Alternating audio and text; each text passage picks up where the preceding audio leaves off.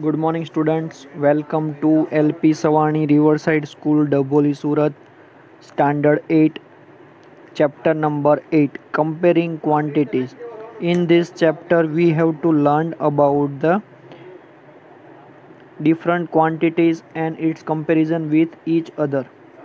So, let's we start with the introduction of this chapter. The introduction of this chapter, we have to first start with recalling rational rations and percentage. So so we have to first of all learn about the ratios. We know the ratio means comparing two quantities. Basketball have two types of fruit. Say one is 20 apples and another is 5 oranges. So here picture suggests that one basket is full of the apples.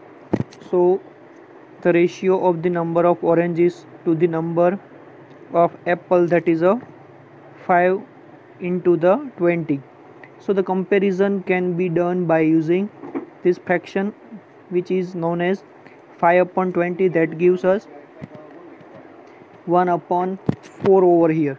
The number of oranges is 1 upon 4 number of apples which is in terms of the ratio this is the 1 into 4 and 1 is to the 4 or otherwise we can write in this way. Number of apples to number of oranges. That is 20 upon that is 20 upon that is 20 upon 5 that is a 4 upon 1 which means the number of apples is 4 4 times the number of oranges. So the comparison can be done using the percentage in these two methods. The first method is there are 5 oranges of the 25 fruit so percentage of the oranges is 5 upon 25 multiplied by 4 upon 4 that is a 20 upon 100 which gives 20 percentage. So this is the first method to find out the ratio to the percentage. Another method is the by out of 25 fruits number of oranges are 5 so out of 100 fruits number of oranges that is a 5 upon 25 multiplied by 100 that is a 20 so in this way you can find the ratio to the percentage from this equation. Since containing contains only apples and oranges so percentage of apples plus percentage of oranges that is a 100 because the total number of fruits are 100 so the percentage of are the same or. The percentage of apple plus percentage of orange which we found that is 20 so total number of fruits are 100 so percentage of apples is equal to 100 minus 20 in this way. In this basket the 20 percentage of oranges and 80 percentage of the apples are containing. So first of all example number 1 a picnic is begin planned in a school for a class 7 girls are 60 percentage of the total number of students and the are 18 in the number. They are the 18 in the number. So the picnic site kilometer from the school and the transport company is charging at the rate of 12 rupees per kilometer. The cost of refreshment will be 4218 over here. Can you tell the ratio of the number of girls to the number of boys in the classroom so first of all we solve the first question the ratio of the number of girls to the number of boys in the class. So let's we found out that question. Here asima and jones comes to follow the answer. Asima did this. Uh, did this. Let the number of the students be x is equal to 60 percentage of the x girls. So 60 upon 100 multiplied by x that is a 18 so x is equal to 18 multiplied by 100 divided by 60 that is a 30 so number of students is equal to 30 john used the unitary method. There are 60 girls out of the 100 students. There is one girl out of the 100 upon 60 students. So the girls are out of the many students so number of students is equal to 100 upon 60 multiplied by 18 that gives us 30 in this way you can find out the percentage behalf of the boys and girls. Let's we find the number of the boys. 13 minus 18 that is a 12 because here number of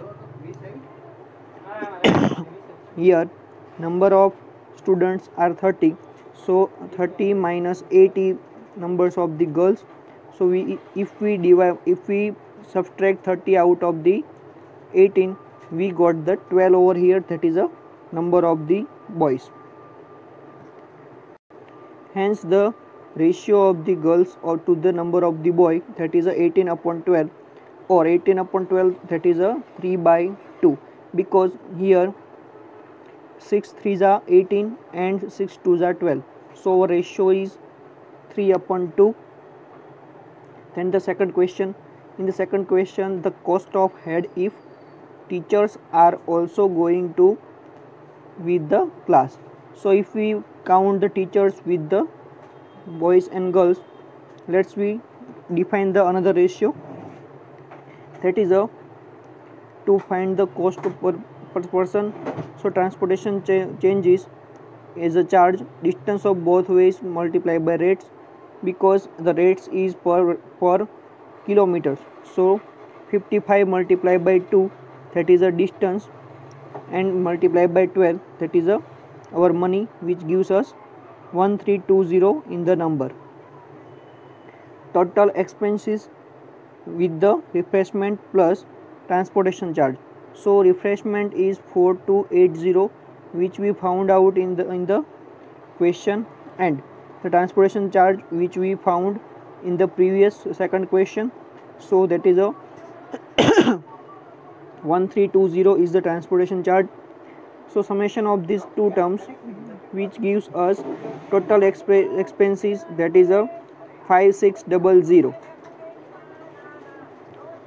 5600 total number of person that is a 18 girls 12 boys and 2 teachers so total persons are 32 because we found out that the number of girls are 18 number of boys are in the picnic that is a 12 and two teachers are with the students in the picnic.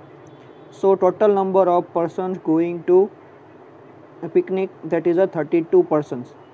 So asima and jones then use unitary method to find the cost per head. For 32 person amount spent would be rupees 5600 only okay?